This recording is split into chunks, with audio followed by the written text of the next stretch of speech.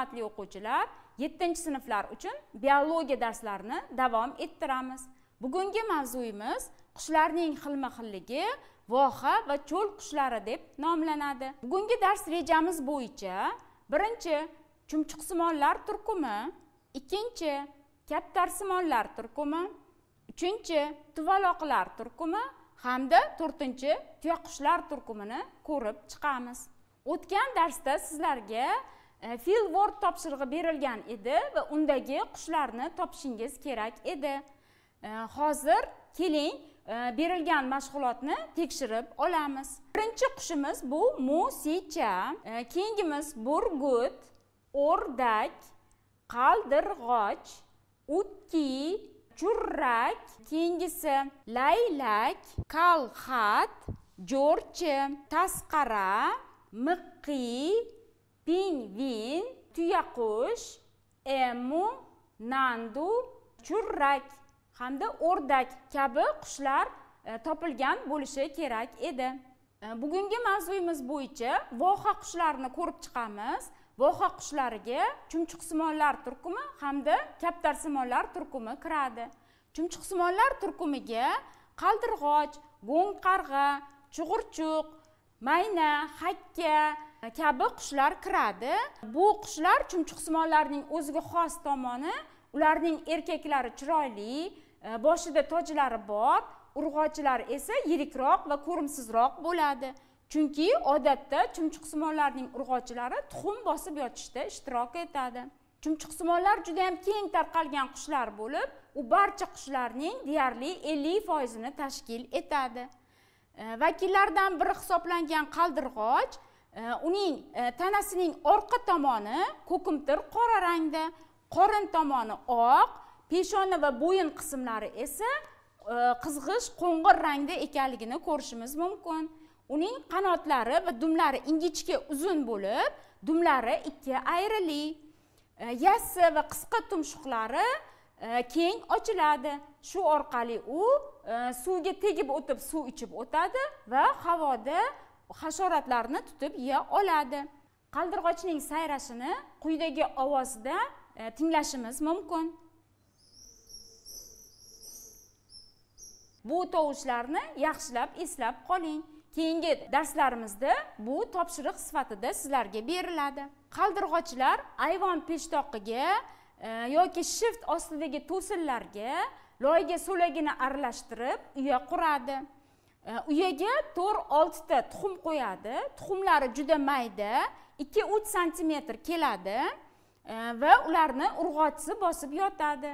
Э, urg'ochisi bosib yotgandan so'ng jo'jalari yigirma yigirma bir kunda chiqadi. Va ularni hasharotlar bilan oziqlantiradi. O'ljasini havoda tutib bolalarni ochib turgan og'ziga olib kelib soladi. Keyingi e, vakilimiz bu chumchuq. Chumchuqni hammamiz juda yam yaxshi bilamiz. U juda keng tarqalgan va hamma joyda uchraydi. O'troq qush bo'lganligi sababli qishin yozin u atrofimizda mavjud. Shu bilan birgalikda hammaxo'r qush hisoblanadi. U har qanday narsani ham yeb ketaveradi. Ko'proq donlar bilan oziqlanadi. Ko'payish davrida esa hasharotlarni tutib yeydi. Don yeyishi bilan u ekinlarga ziyon yetkazadi. Chumchuqni ham tovushini Э, tinglab ko'ramiz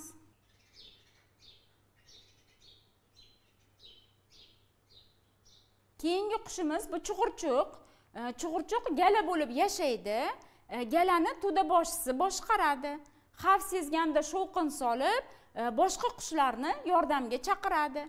Ayni pishiqchilik vaqtida ko'pchilik mevalarni ayniqsa giloslarni cho'qib ziyon yetkazadi. Hasharotlarni qirib foyda keltiradi. Murmuratsiya hodisasiga ega ya'ni biz o'tgan darslarimizda eslatib o'tdik murmuratsiya hodisasi bu qushlarning gala hosil qilib fazoda turli xil shakl hosil qilib uchishlari hisoblanadi endi chug'urchuqni sayrashini tinglab ko'ramiz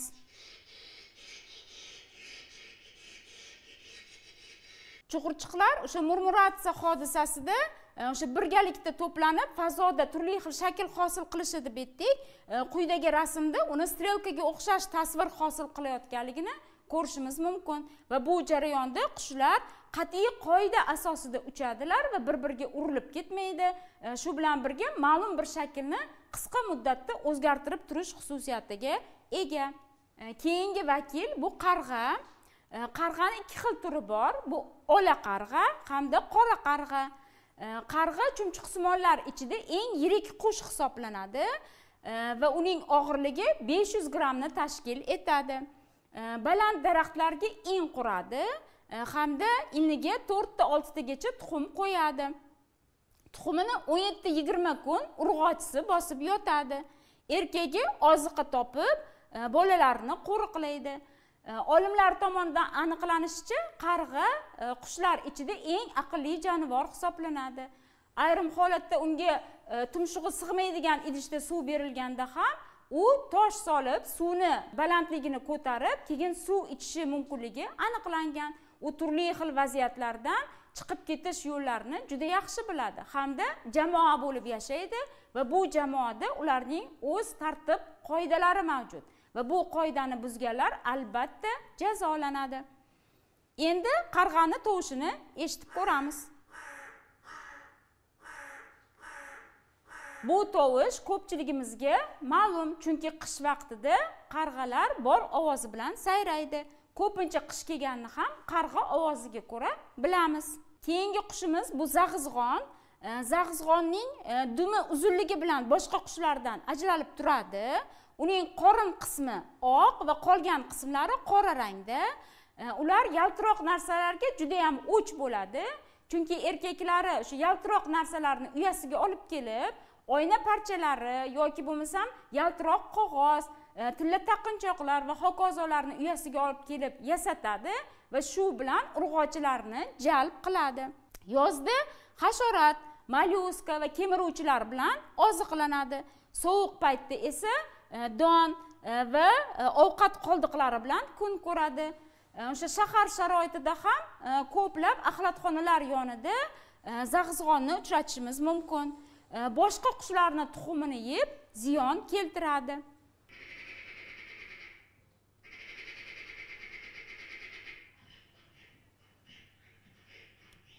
Keyingi qushimiz bu zog'cha qushi hisoblanadi.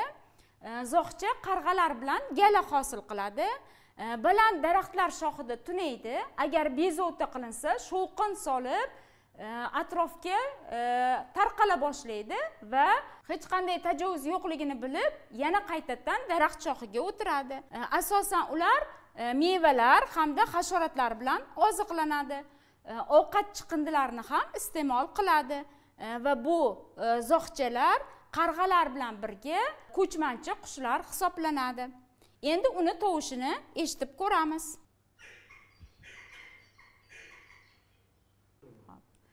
E, keyingi vakilimiz bu bulbul. E, bizga ma'lumki bulbul juda yam sayroqi e, chiroyli sayrashi bilan mashhur qush hisoblanadi. Uning tanasi qo'ng'ir rangda ko'payish davrida hasharotlar va umurtqasizlar bilan oziqlanadi.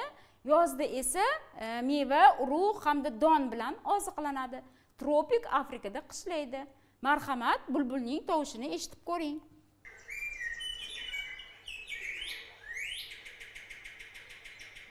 Keyingi qushimiz bu zarg'aldoq. E, zarg'aldoq o'zining yorqin rangi bilan ajralib turadi. Uning tanasi o'sha yorqin sariq rangda daraxtlar orasida e, in qurib yashaydi e, va o'zini unchalik namoyish qilmaydi. Shox shabbalar orasiga soyabonsimon uya quradi. E, voyaga yetganda qurt qo'ng'iz shilliqurt bilan oziqlanadi. Avgustda afrika va hindiston tomonlarga qishlash uchun uchib ketadi. May oylarida esa ko'payish uchun o'z vataniga qaytib keladi. U quyidagicha sayraydi.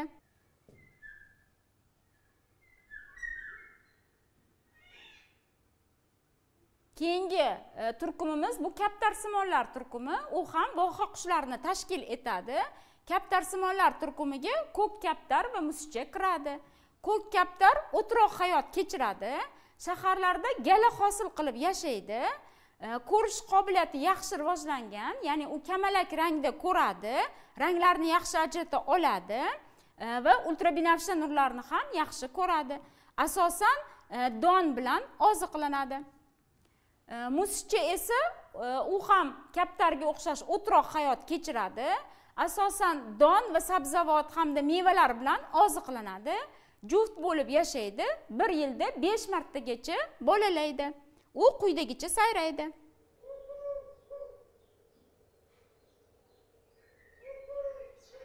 E, keyingi qushlarimiz bu cho'l qushlari.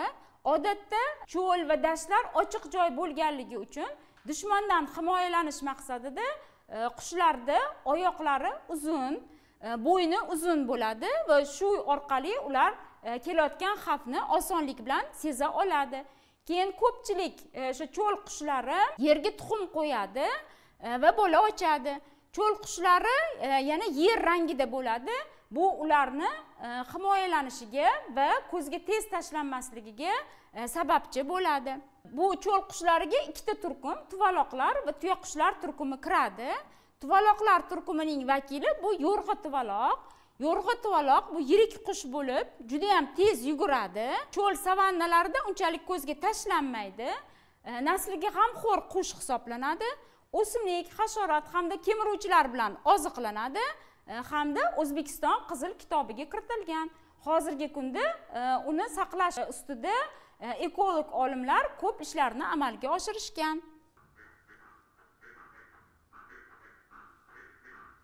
Keyingi e, turkumimiz bu tuyaqushsimonlar turkumi. Unga demak tuyaqushlar kiradi. Tuyaqushlar qushlar ichida eng yirigi hisoblanadi. E, ularning e, o'sha qanotlari hamda patlari yelpig'ich hosil qilmaydi. To'sh toji ham mavjud emas. Uchmaydi lekin juda yam tez yugurishi bilan ajralib turadi. Ular soatiga yetmish kilometrgacha yugurishi mumkin. Hamda oyoqlari ikki barmoqli. Э, barmoqlarni osti qalin terili. Bu qalin teri e, cho'l havosida issiqni sezmasligiga e, sababchi bo'ladi. E, shu bilan birga tuyaqushlar yovvoyi o'simliklarni urug'i hamda yirik hasharotlar bilan oziqlanadi. Ularning oyoqlari juda yam baquvvat. Bitta tepganda hattoki o'sha tuyoqli hayvonlarni qornini ham yorib yuborishi mumkin. Ularni uch xil turi bor. Avstraliyada emu amerikada nandu afrikada esa afrika tuyaqushi keng tarqalgan. Afrika tuyaqushining bo'yi uch metr vazni yuz kilogramm oltmish yetmish kilometr soat tezlikda yuguradi kichik gala hosil qiladi to'rt to'qqiztagacha tuxum qo'yadi tuxumining og'irligi bir yarim kilogramm kunduzi urg'ochisi kechasi erkagi tuxum bosib yotadi. Chunki urg'ochilari qo'ng'ir rangda erkaklari qora rangda bo'ladi. Rasmda erkak e, tuyaqush berilgan. U quyidagicha sayraydi. E, mustahkamlash uchun quyidagi mashg'ulotni bajarishingiz kerak bo'ladi. E, qushlar nomi bilan ular uchun xos bo'lgan xususiyatlarni juftlab yozing. Topshirig'i berilgan. Bunda qushlardan qaldirg'och musicha go'ng qarg'a chug'urchuq ko'k kaptar tuvaloq afrika tuyaqushlari berilgan birinchi o'qiydiganimiz yil davomida besh marta bola ochadi bu qaysi qushga mansub ya'ni bunda berilganlar ichida b musicha besh marta bola ochadi keyingisi qizil kitobga kiritilgan hozir ko'rib chiqdik g ya'ni tuvaloq E, qizil kitobga kiritilgan. E, Keyingisi binolar peshtoqiga uya quradi. E, buni ko'rib chiqdik. Binolar peshtoqida qaldirg'och uya quradi. Oyoqlari ikki barmoqli bu afrika tuyaqushiga tegishli. O'ljasini havoda tutadi bu qaldirg'ochga tegishli. Mevalarga biroz zarar yetkazadi bu albatta chug'urchuqlar chunki mevalar bilan oziqlanadi. Oxirgimiz zog'chalar bilan e, gala hosil qiladi. Bu e, go'ng qarg'a hisoblanadi. Va to'g'ri javoblarimiz quyidagicha a besh b bir d yetti e olti f uch e, g ikki h to'rt. Mustaqil bajarish uchun darslikni bir yuz ellik oltinchi bir yuz ellik to'qqizinchi sahifalarni o'qish hamda mavzu oxirida berilgan topshiriqlarni bajarish topshirig'i beriladi. Shu bilan bugungi darsimiz nihoyasiga yetdi. Xayr salomat bo'ling.